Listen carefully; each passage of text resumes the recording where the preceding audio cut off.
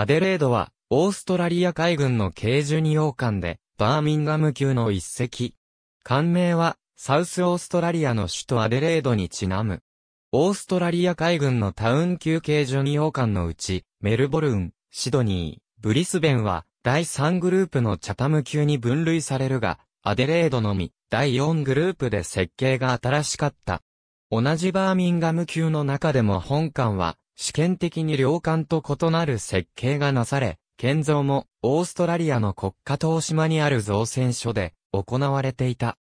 このため、第一次世界大戦の勃発により工事が遅れて、収益は1922年にずれ込んでしまった。近代化後のアデレード。煙突が一本減って環境が大型化した。本級の船体は前級に引き続き、朝鮮主郎型船体を採用していた。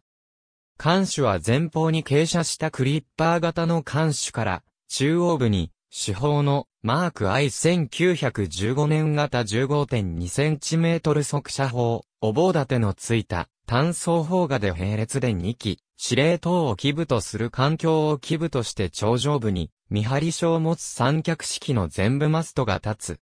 等間隔に並ぶ4本の煙突の原則は、関西艇置き場となっており、関西艇は2本1組のボートダビットが、片弦3組で、計6組により運用された。左右の原則甲板上に 15.2cm 速射砲が棒立ての、ついた単装砲画で、片弦3機ずつ配置されていた。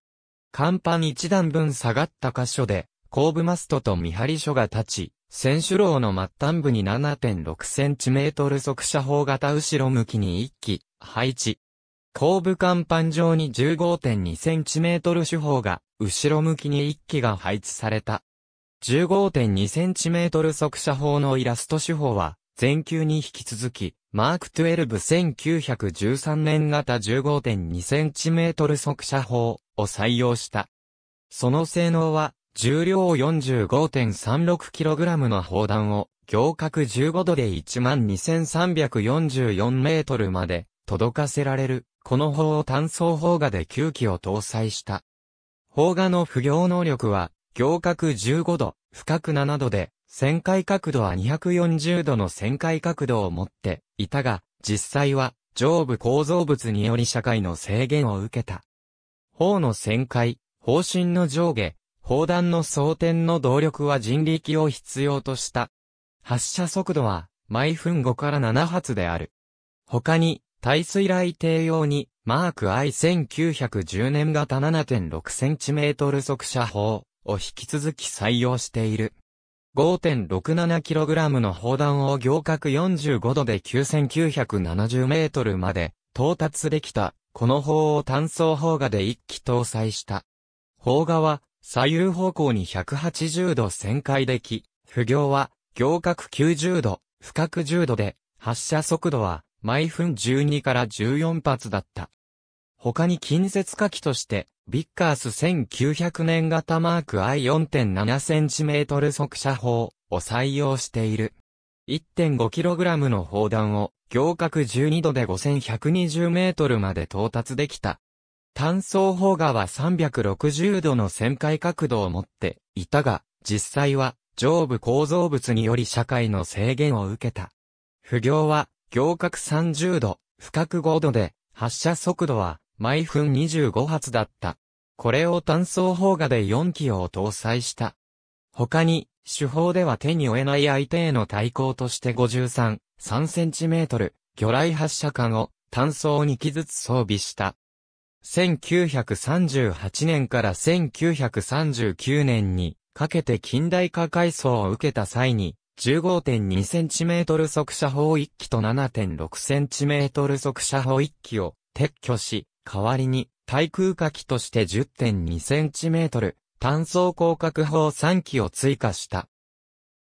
さらに1942年にエリコン 2cm 単装機16機と271型レーダー1機を搭載した。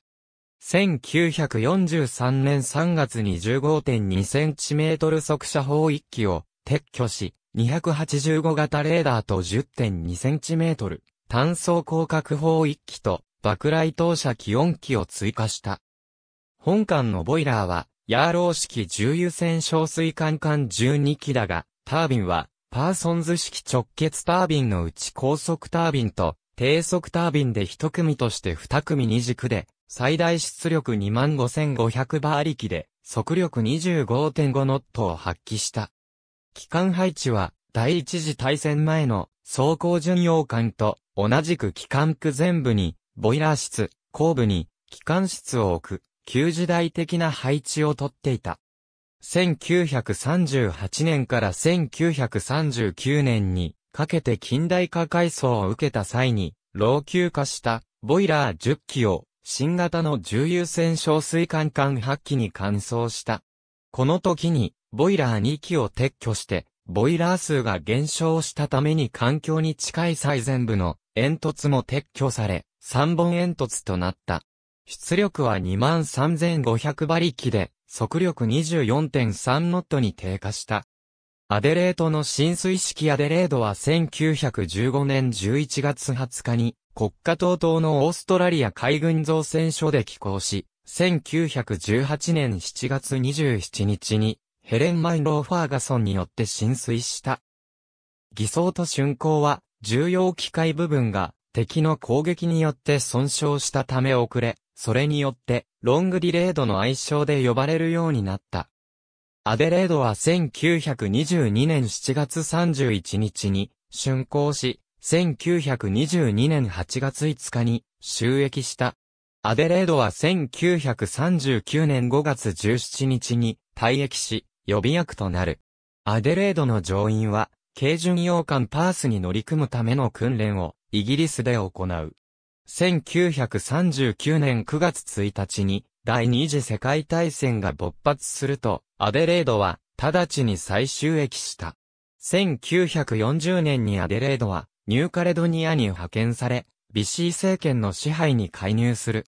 通報艦ブーゲンビル級、デュモン・デュールビルが、ビシー政権によって、パペーテからニューカレドニアに派遣された。アデレード艦長の HA シャワーズ大佐は、ヌーメアから海軍委員会に9月21日に打電した。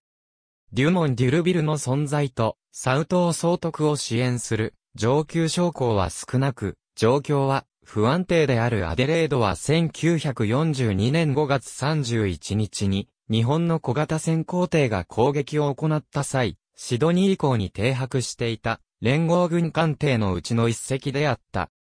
1942年11月24日、アデレードは、オランダの軽巡洋艦、トロンプ級、ヤコブ・ファン・ヘムスケルクと共に3隻の船からなる青一、船団を護衛して、フリーマントルを出港した。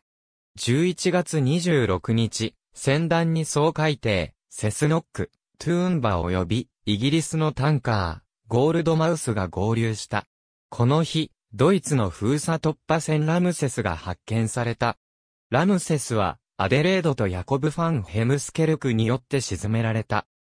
アデレードは1946年5月13日に退役し、1949年1月24日にオーストラリアンアイアンスチール社に売却された。